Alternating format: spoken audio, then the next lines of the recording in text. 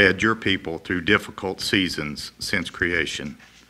God, we would pray today that you would engulf us in your grace, that we may serve as instruments of your peace. Help us to be the first to forgive, slow to anger, and generous in our support of those in need. In your name we pray. Peace and amen.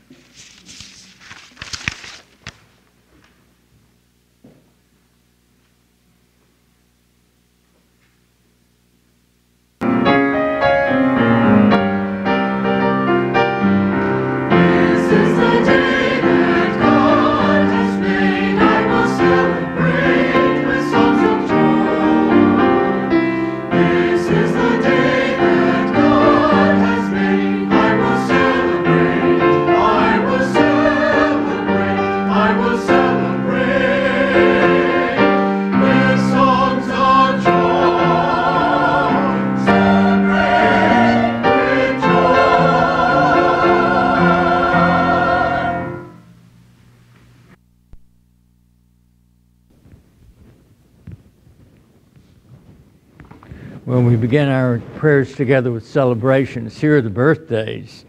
September 26th, Andorra Nicholson. The 27th, John Koppelmeyer. On the 1st of October, David Gross. And on the 2nd of October, the twins, Grant Lippard and Lawrence Lippard. Uh, in terms of anniversaries, uh, in, in case you didn't know from last week, last week uh, David and Janice Gross, uh, David and Janice Comer celebrate their anniversary. I keep mirroring people. Uh, Neil, uh, Neil and Louise Gross, Stephen and Emma Chestnut, Terry and Diane Hamby. And um, those are the celebrations I have. Are there any others that you would like to mention?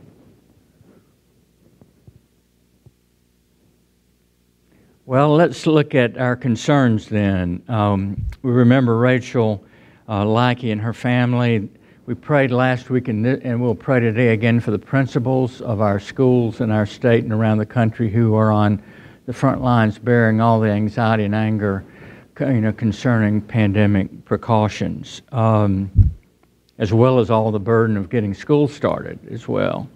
Uh, we remember uh, Peggy Wall in, um, with endometrial cancer. Uh, we remember, I just heard that David was going to be, Comer was going to be here today, but he thinks he has shingles. So uh, let's pray for David. Um, there's a beautiful prayer that Louise Gross brought. Uh, a woman she cares for has this prayer for the pandemic that's really wonderful. It's on the board in the back if you want to take a look at it when you leave. Um, are there any others that we would like to raise for our prayer concerns? Yes. Um, this month's suicide prevention month, and um, I think it's just a good time to, the, the best way we can um, prevent suicide is to be aware that um, people are considering it all around us.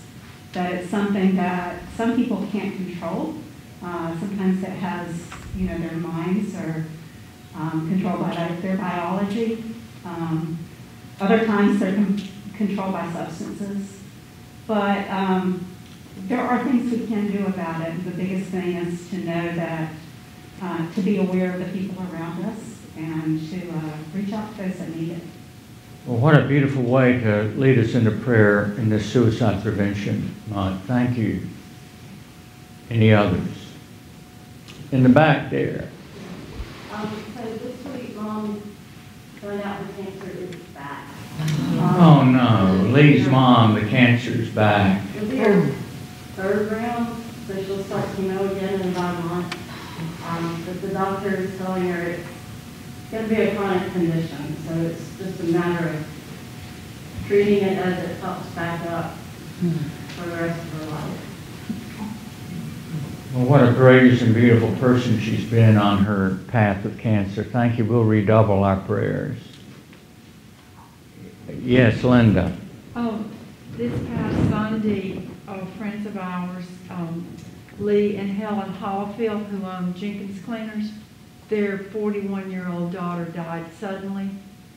Um, they're very, very private people. I don't know if it was suicide, I don't know anything, but, uh, I'm sure it's extremely painful. Was it Catherine? Yes. Well, we'll remember their fam, their, the family. Thank you, Linda.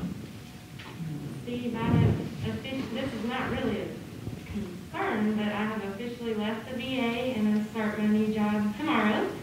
So keep me in your thoughts as I begin a new journey, but also coming from the VA, kind of banking off of the suicide awareness. That- That's a really big population of suicide events in our, our veteran population. And one thing we learned in the VA is that uh, you know, offering phone numbers for support lines is great, but sometimes that's not enough. And sometimes if you know someone's struggling, you need to ask. You need to be kind of upfront and ask if they've had any suicidal ideations. That's not going to cause them to commit suicide. And that's one of the biggest things they've come out and said can help someone is to be upfront and ask and help get them to a provider that can help them. So just keep that in mind if you come up to someone like that. Thank you, Emma, and thanks for bringing the concerns of the veteran community in terms of suicide you know, problem. Uh, and uh, congratulations and blessings on your new start in your branching out on your own. Thank you. Any others? Well, let's take a moment in silence to lift these and other concerns to God, and then I will, I will continue our prayers.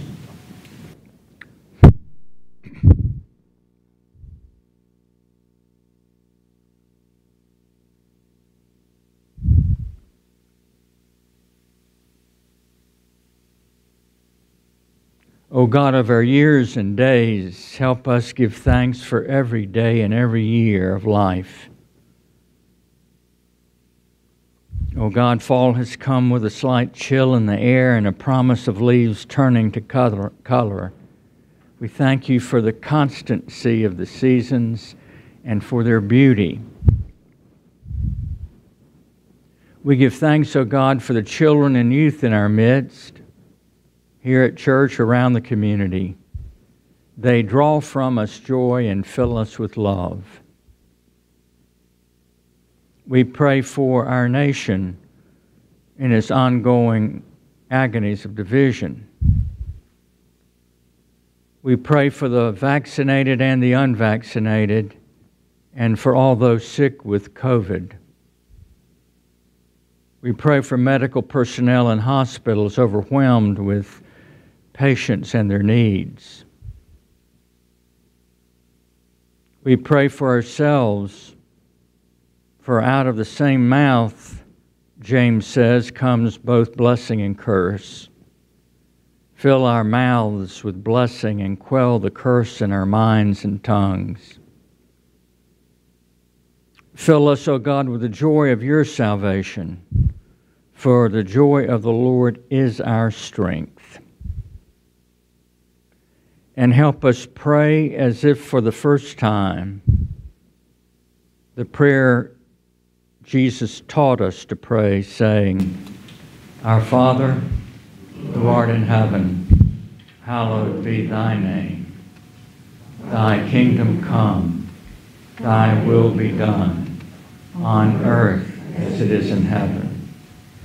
Give us this day our daily bread and forgive us our trespasses, as we forgive those who trespass against us. And lead us not into temptation, but deliver us from evil. For thine is the kingdom, and the power, and the glory, forever. Amen.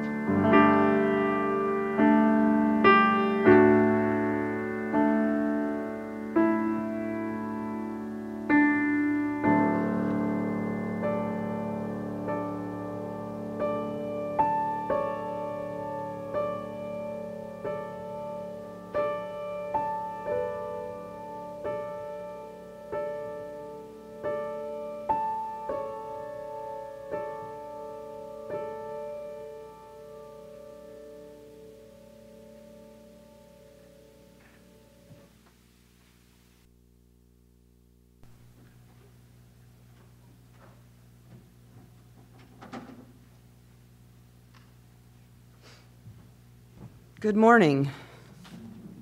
We've got a lot of scripture to read this morning. Today's scripture lesson comes from Numbers 22, 21 through 28, and 23, 5 through 8. And then we'll turn to Luke 6, 27 through 28. So, starting with Numbers. So Balaam got up in the morning, saddled his donkey, and went with the officials of Moab. God's anger was kindled because he was going, and the angel of the Lord took his stand in the road as his adversary. Now he was riding on the donkey, and his two servants were with him. The donkey saw the angel of the Lord standing in the road with a drawn sword in his hand. So the donkey turned off the road and went into the field. And Balaam struck the donkey to turn it back onto the road. Then the angel of the Lord stood in a narrow path between the vineyards with a wall on either side. When the donkey saw the angel of the Lord, it scraped against the wall and scraped Balaam's foot against the wall, so he struck it again. Then the angel of the Lord went ahead and stood in a narrow place where there was no way to turn either to the right or to the left. When the donkey saw the angel of the Lord, it lay down under Balaam, and Balaam's anger was kindled, and he struck the donkey with his staff. Then the Lord opened the mouth of the donkey, and it said to Balaam, What have I done to you, that you have struck me these three times? The Lord put a word in Balaam's mouth and said, Return to Balak, and this is what you must say. So he returned to Balak, who was standing beside his burnt offerings with all the officials of Moab. Moab. Then Balaam uttered his oracle, saying, Balak has brought me from Aram, the king of Moab from the eastern mountains. Come, curse Jacob for me. Come, denounce Israel. How can I curse whom God has not cursed? How can I denounce those whom the Lord has not denounced? And then turning to Luke. But I say to you that listen love your enemies, do good to those who hate you, bless those who curse you, pray for those who abuse you.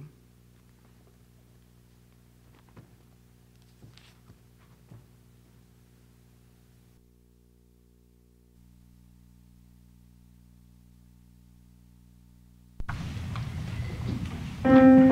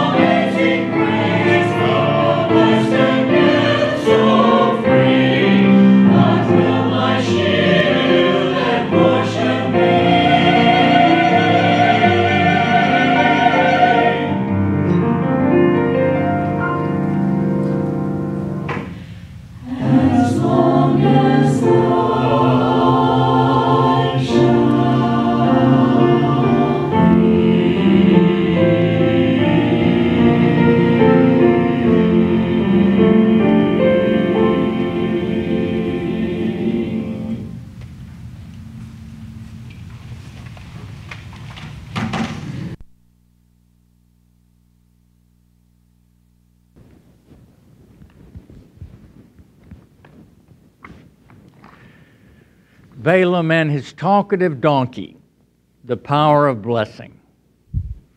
Today I begin a series of sermons called Peculiar Treasures Personalities from the First Testament.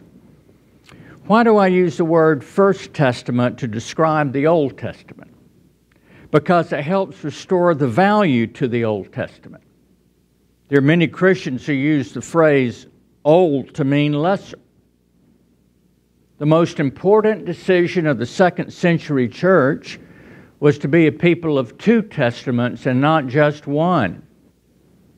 There was a wealthy shipbuilder in the church at Rome named Marcion, and he wanted to throw out the whole Old Testament. But the church said no. Both testaments are Holy Scripture. The First Testament, after all, was the Bible of Jesus. Now to the phrase peculiar treasures.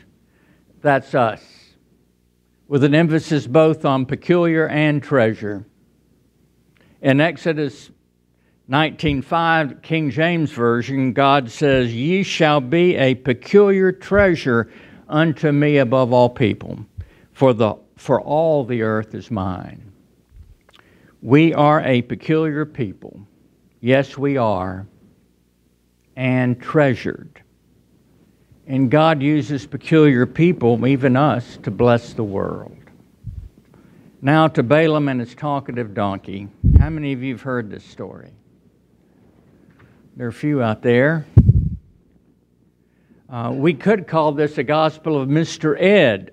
If any of you are old enough to remember the old TV show with Mr. Ed as the talking horse, or if you're younger in this crowd, uh, we, we might call it the gospel of Shrek with his talking donkey named Donkey.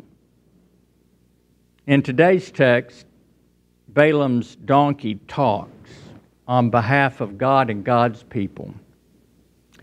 We are fascinated, aren't we, with the, just the idea of animals who can talk? Maybe in heaven, the animals talk. Now, as I tell you the story, don't be afraid to laugh. In the movie Oh God, as some of you remember, George Burns says God is like a comedian playing an audience who's afraid to laugh. Sometimes truth and humor go together, right? The story goes that Balak, the king of Moab, was getting nervous about the growing strength of Israel.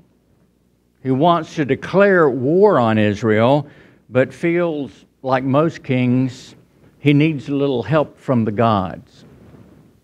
So he summons Balaam, a prophet known for his power to curse and to bless. What you bless is blessed, the king said to him, and what you curse is cursed. So go, he said, and plant a big fat curse on Israel so we can conquer them. That's loosely translated from the Hebrew. God, however, tells Balaam not to go, saying, Do not curse this people because I have blessed them. Balaam at first refused the king's request, but then relented, but said to himself that he would only do what God commanded him to do. So Balaam set off on his donkey along with his two servants. Suddenly, an angel of the Lord appeared, standing in the middle of the road, a sword drawn in his hand or her hand. Who's to know? Balaam doesn't Balaam doesn't see the angel, but the donkey does, and makes a sharp 90 degree turn into the field. Maybe animals see things that we don't. I bet they do. Balaam gets angry and strikes the donkey to get it back on the road. Then they came to a narrow path through a vineyard with a stone wall on each side of the path. The angel appeared again when the donkey saw the angel, he skittishly tried to move around the angel and ran into the stone wall, which ended up with Balaam's foot getting crushed. Balaam's not too happy about that, of course. He gets even madder and thrashes the donkey again. We do not like Balaam very much at this point. As he went on, a third time the angel appeared. Have you ever noticed in humor and jokes there's always a pattern of threes?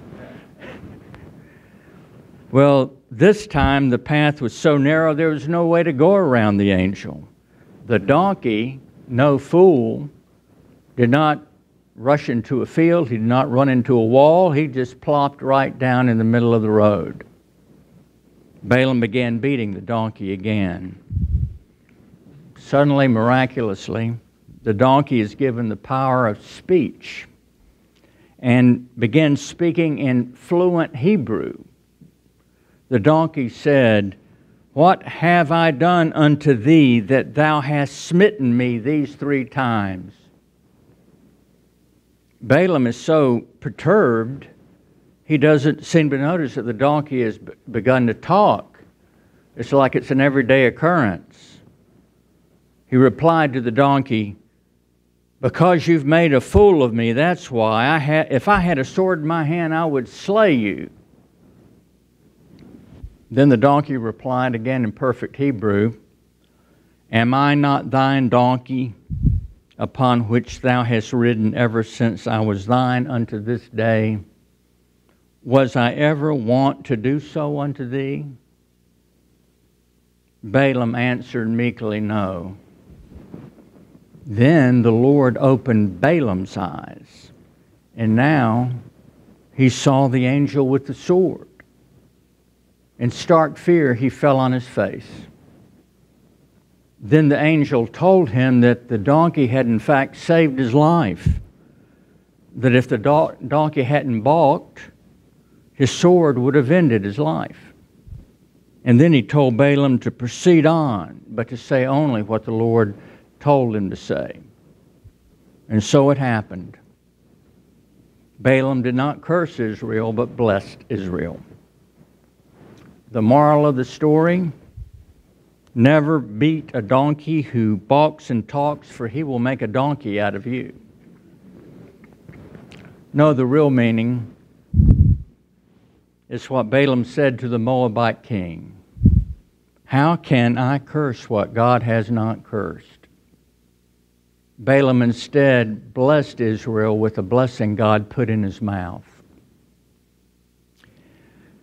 God has blessed and is blessing the whole world and everyone in it.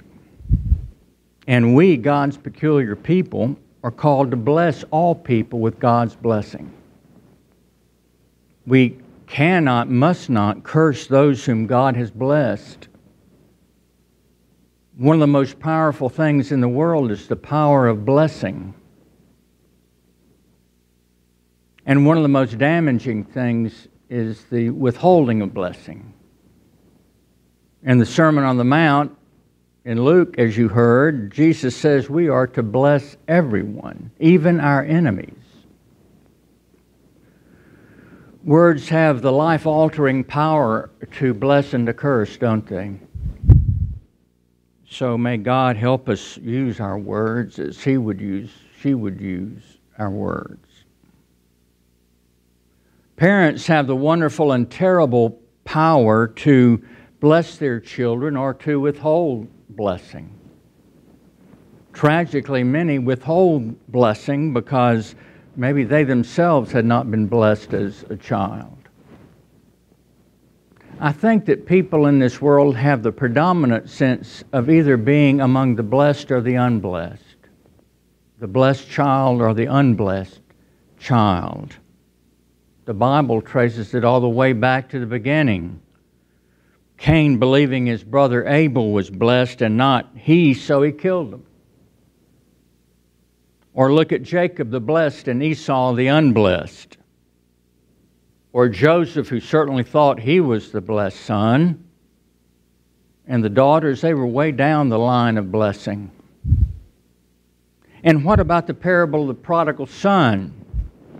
The younger son felt blessed and therefore felt free to leave home. And then the elder son, what did he do? He stayed home, thinking he had to earn his father's blessing and slaving to do it. But the Father said, What did the Father say to the elder? All that is mine is yours. God's desire is that all God's children be blessed and that they experience this blessing. To the unblessed children of the world, we're called to bless them with the blessing of God, to love them with the blessing of God. What they've not experienced in life, we give to them. In short, we are called to welcome them to the party of grace. You know, I think, I think some there are three kinds of people. Uh, the first kind don't think there's a party at all of grace. The second thing, the second group thinks there's a party, but they surely don't belong. And the third group know there's a party and know that they have been welcomed. But all God's children are invited to the party, and we are called to roll out the red carpet and welcome everyone to God's house of blessing, God's feast of grace. So let us go to one another and bless each other. Let us go out into the highways and byways, as the parable of the great feast says, and invite everyone to come to the party to the house of blessing. And let us sing that song we have sung. Let us build a house where love can dwell and all can safely live. A place where saints and children tell how hearts learn to forgive. Built of hope and dreams and visions rock of faith and vault of grace. Here the love of Christ shall end divisions. All are welcome, all are welcome, all are welcome in this place. Amen. Now may the Lord bless you and keep you. May the Lord make his face to shine upon you and be gracious unto you. May God give you the grace never to sell yourself short the grace to risk something big for something good. The grace to remember that the world is too dangerous for anything but truth and too small for anything but love. So may God take your minds and think through them. May God take your lips and speak through them. May God take your hearts and set them on fire. Amen.